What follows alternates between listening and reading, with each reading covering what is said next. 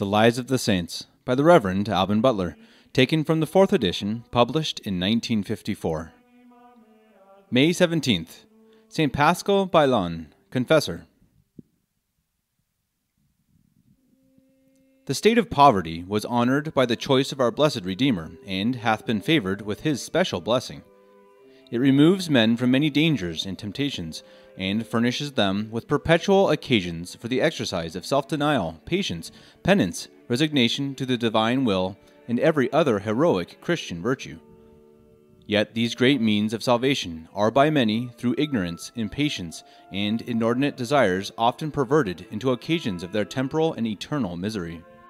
Happy are they who, by making a right use of the spiritual advantages which this state, so dear to our divine Redeemer, offers them, procure to themselves present peace, joy, and every solid good, and make every circumstances of that condition in which Providence hath placed them a step to perfect virtue and to everlasting happiness.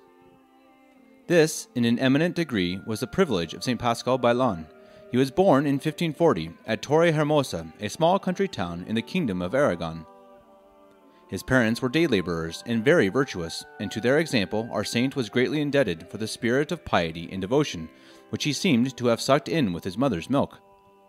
Their circumstances were too narrow to afford his being sent to school, but the pious child, out of an earnest desire of attaining to so great a means of instruction, carried a book with him into the fields, where he watched the sheep, and desired those that he met to teach him the letters.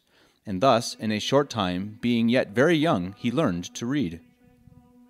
This advantage he made use of only to improve his soul in devotion and piety.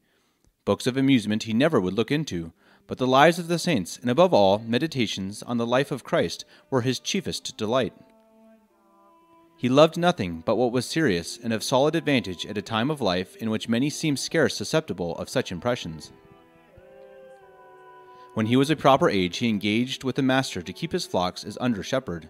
He was delighted with the innocent and quiet life his state permitted him to lead. That solitary life had charms for him. Whatever he saw was to him an object of faith and devotion. He read continually in the great book of nature, and from every object raised his soul to God, whom he contemplated and praised in all his works.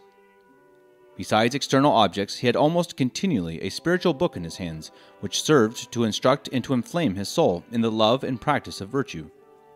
Often was he seen ravished in holy prayer, and frequently was not able to conceal from the eyes of men the vehement ardor of the divine love with which his soul melted in an excess of heavenly sweetness.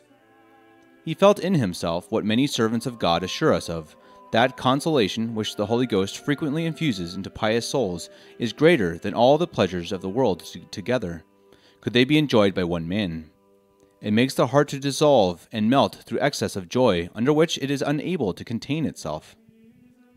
In these sentiments did this servant of God sing with David My soul shall rejoice in the Lord, and shall be delighted in his salvation. All my bones shall say, O Lord, who is like to thee?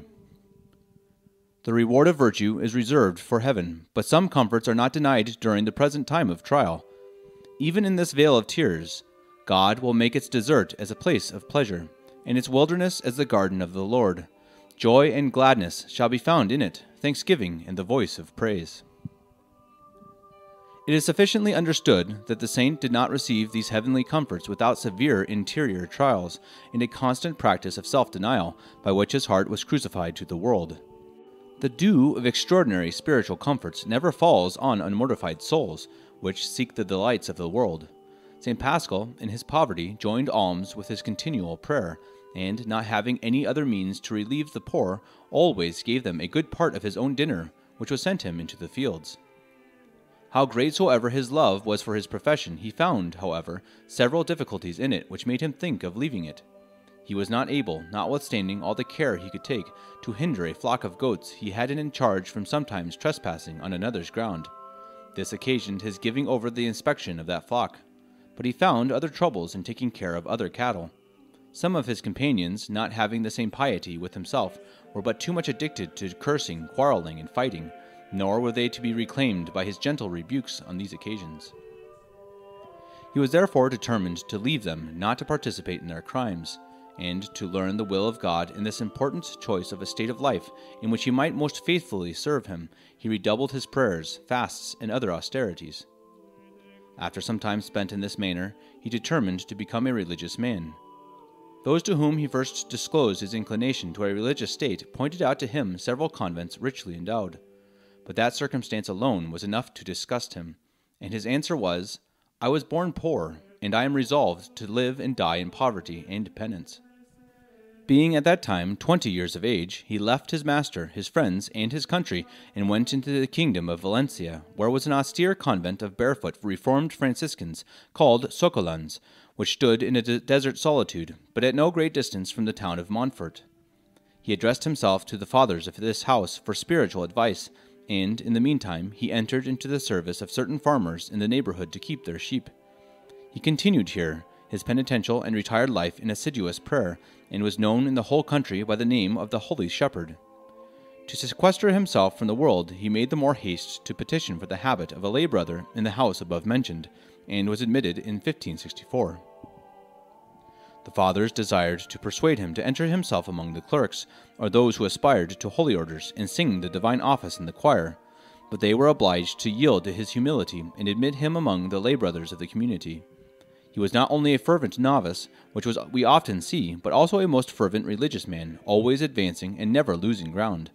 Though his rule was most austere, he added continually to its severity, but always with simplicity of heart, without the least attachment to his own will, and whenever he was admonished of any excess in his practices of mortification, he most readily confined himself to the letter of his rule. The meanest employments always gave him the highest satisfaction, Whenever he changed convents according to the custom of his order, the better to prevent any secret attachments of the heart, he never complained of anything, nor so much as said that he found anything in one house more agreeable than in another, because being entirely dead to himself, he everywhere sought only God. He never allowed himself a moment of repose between the church and cloister duties and his work, nor did his labor interrupt his prayer. He had never more than one habit, and that always threadbare. He walked without sandals in the snows and in the roughest roads. He accommodated himself to all places and seasons, and was always content, cheerful, mild, affable, and full of respect for all. He thought himself honored if employed in any painful and low office to serve anyone. The general of the order happening to be at Paris, Paschal was sent thither to him about some necessary business of his province. Many of the cities through which he was to pass in France were in the hands of the Huguenots, who were then in arms. Yet he offered himself to a martyrdom of obedience, travelled in his habit, and without so much as sandals on his feet, was often pursued by the Huguenots with sticks and stones, and received a wound on one shoulder, of which he remained lame as long as he lived. He was twice taken for a spy, but God delivered him out of all dangers. On the very day on which he arrived at this convent for his tedious journey, he went out to his work and other duties as usual. He never spoke of anything that had happened to him in his journey unless asked and then was careful to suppress whatever might reflect on him the least honor or praise. He had a singular devotion to the Mother of God, whose intercession he never ceased to implore that he might be preserved from sin. The holy sacrament of the altar was the object of his most tender devotion, also the passion of our divine Redeemer. He spent, especially towards the end of his life, a considerable part of the night at the foot of the altar, on his knees, or prostrate on the ground. In prayer, he was often favored with ecstasies and raptures. He died at Villarreal, near Valencia, on the 17th of May in 1592, being 52 years old.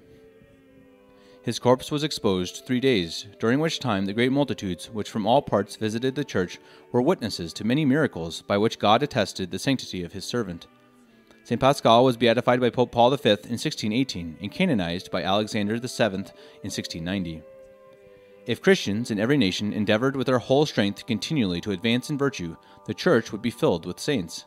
But alas, though it be an undoubted maxim that not to go on in a spiritual life is to fall back, nothing is more rare, says St. Bernard, than to find persons who always press forward. We see more converted from vice to virtue than increase their fervor in virtue. The same father assigns two principal reasons. First, many who began well after some time grow again remiss in the exercises of mortification and prayer, and return to the amusements, pleasures, and vanities of a worldly life. Secondly, others who are regular and constant in exterior duties neglect to watch over and cultivate their interior, so that some interior spiritual vice insinuates itself into their affections and renders them an abomination in the eyes of God. A man, says St. Bernard, who gives himself up entirely to exterior exercises without looking seriously into his own heart to see what passes there, imposes upon himself, imagining that he is something whilst he is nothing. His eyes being always fixed on his exterior actions, he flatters himself that he goes on well, and neither sees nor feels the secret worm which gnaws and consumes his heart. He keeps all fasts, assists at all parts of the divine office, and fails in no exercise of piety or penance. Yet God declares, His heart is far from me. He only employs his hands in fulfilling the precepts, and his heart is hard and dry.